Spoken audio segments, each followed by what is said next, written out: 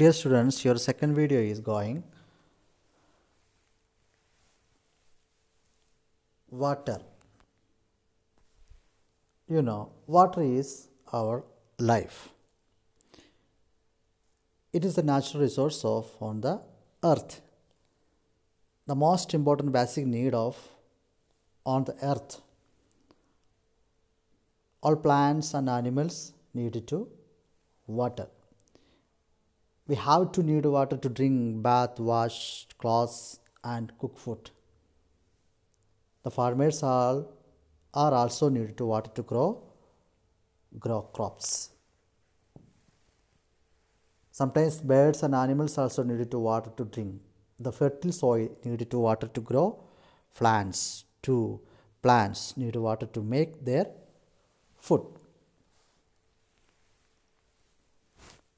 Water is constantly renewed through a natural process called the water cycle. जल चक्र नामक एक प्राकृतिक प्रक्रिया के माध्यम से पानी का लगातार नवीनीकरण किया जाता है जल चक्र नामक एक प्राकृतिक प्रक्रिया के माध्यम से पानी का लगातार नवीनीकरण किया जाता है The moving water was earlier used for running machines like water mills and sawmills. Water mills और सॉ मिल्स मशीन को चलाने के लिए पहले चल रही पानी को इस्तेमाल किया जाता है one of the most interesting ways to use water is by storing it in reservoirs behind dams पानी का उपयोग करने की सबसे बेस्ट तरीकों में से एक है डैम के पीछे जलाशयों में समृद्ध करके किया जाता था। सबसे बेस्ट तरीके ये होती है पानी का उपयोग करने का सबसे बेस्ट तरीका डैम के पीछे जलाशयों में समृद्ध करके किया जाता था।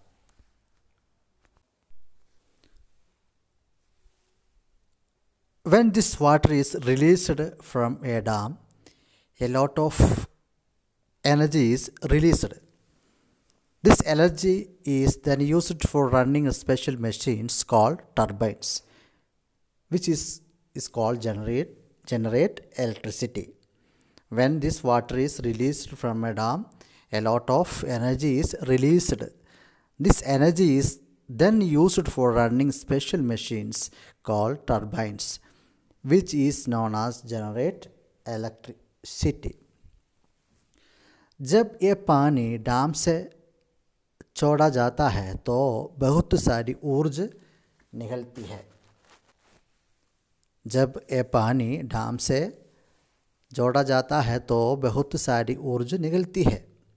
फिर इस ऊर्जा का उपयोग टर्बाइन्स नामक विशेष मशीनों को चलाने के लिए किया जाता है। च बिजली उत्पन्न करती है या पैदा करती है। The water is made to fall from great height in a dam to generate electricity this type of electricity is called hydroelectricity और hydel power this dams are also multipurpose project means they have use to generate electricity as well as canals, lake water from this man-made water to body to in the fields. Okay okay? जब ये पानी dam से छोड़ा जाता है, जोड़ा जाता है तो बहुत सारी ऊर्जा निकलती है। फिर इस ऊर्जा का उपयोग टर्बाइन नामक विशेष मशीनों को चलाने के लिए किया जाता है, जो बिजली उत्पन्न करती है या पैदा करती है।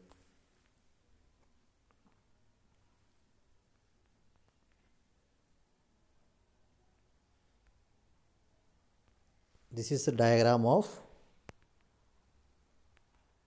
turbines or turbine built in reservoirs.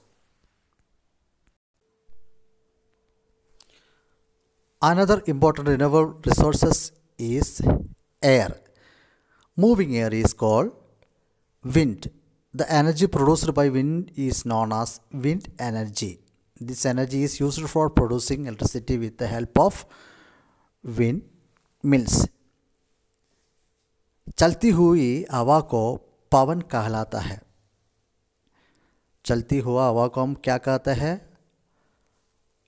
The moving air is called wind कहलाता है। पवन द्वारा उत्पादित ऊर्ज को विंड एनर्जी के रूप में जाना जाता है।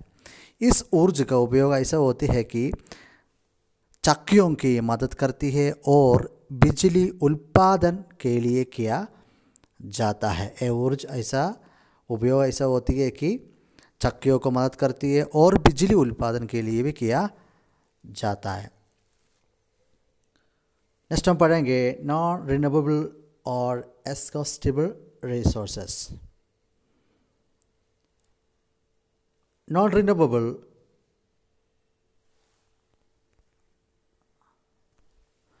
some natural resources cannot be renewed once uh, they are used, while others take millions of years to get renewed through the natural resources. Thus, resources are known as non renewable or exhaustible resources.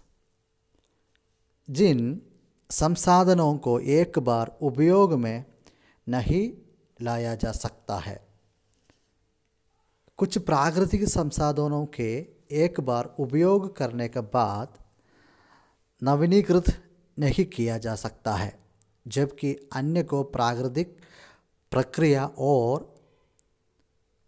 प्राकृतिक प्रक्रियाओं के माध्यम से नवीनीकृत होने में लाखों वर्ष लगाता है।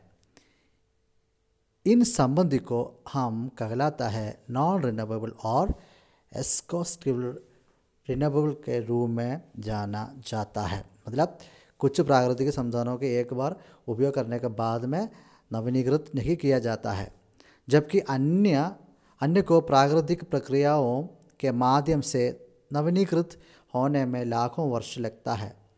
इस संबंधी को मतलब इस संबंधी को हम कहलाता है नॉन रिन्यूएबल और exhaustible resources okay what is the what is the difference between renewable resources and uh, non renewable resources? See renewable resource means resources whose supplies a long lasting and can be replaced. Resources whose supplies are long lasting and can be replaced. And renewable means resources that cannot be replaced once used. Okay renewable resource को हम replace कर सकता है and non renewable resources means resource that cannot be cannot be replaced once used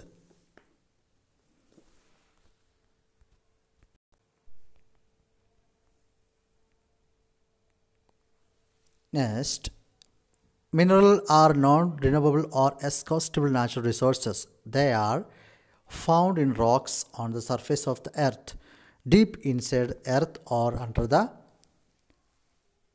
sea. खनिज और नवीकरण या लुप्त प्राय प्राकृतिक संसाधन है खनिज और नवीकरण या लुप्त प्राय प्राकृतिक संसाधन है मिनरल्स अब के बारे में हम देखेंगे what is minerals minerals means any substance uh, that uh, occurs naturally deep inside the earth is called mineral. What is mineral? Mineral is that occurs natural deep inside the earth is called mineral. Me, means कोई भी पदार्थ जो पृथ्वी मतलब भूमि के अंदर प्राकृतिक रूप से घगरे में होते हैं उसको हम कहलाता है खनिज means mineral in substance that occurs naturally deep inside the earth is called minerals means कोई भी पदार्थ जो पृथ्वी के अंदर प्राकृतिक रूप से घगरे में होते हैं, इसको हम कहलाता है खनिज means mineral some examples are gold copper silver coal and और are the some example of the minerals okay so so let's see here some minerals there are natural resources. These minerals are found in the deep inside of the earth or under the sea. कुछ natural resources of here. This is silver and copper or gold. This is natural resources. These resources are minerals found in the deep inside of the earth or under the sea.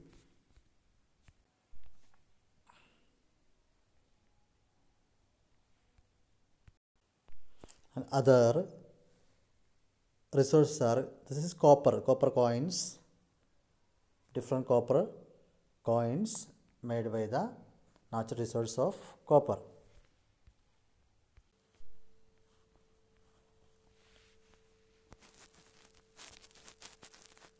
Next we are going to study the most of the minerals are obtained by digging deep into the earth.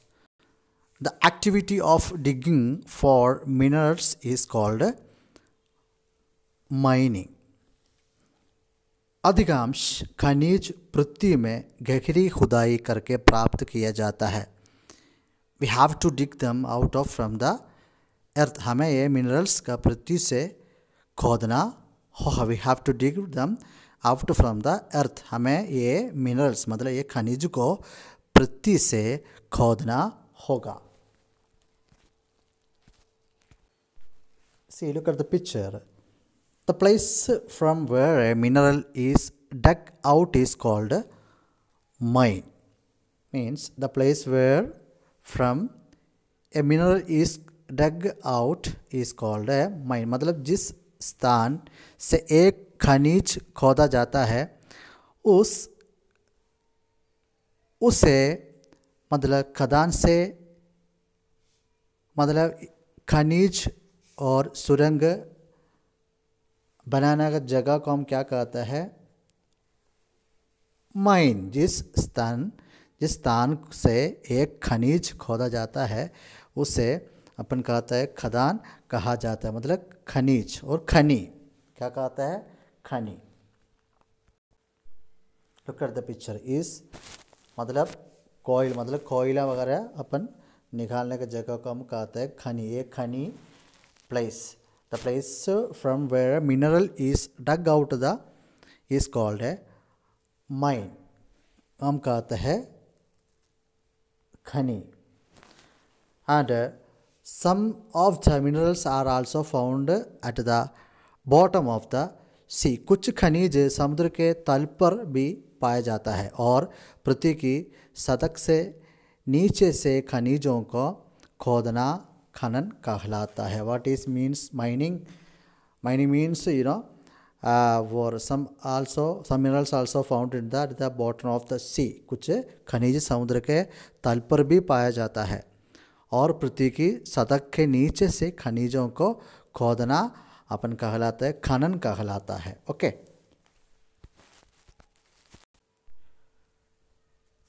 C means coal मतलब the activity of digging out minerals is called mining. Mines are help holes that dig out the remove valuable minerals from the under the earth.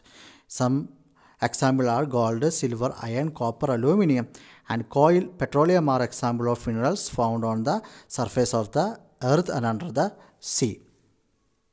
M पृथ्वी में और समुद्र के नीचे से अपन खोदना होगा इसको हम कहते हैं खनन this is some example of कोयला coil. Okay next we are going to study. Let us learn more about the use of these minerals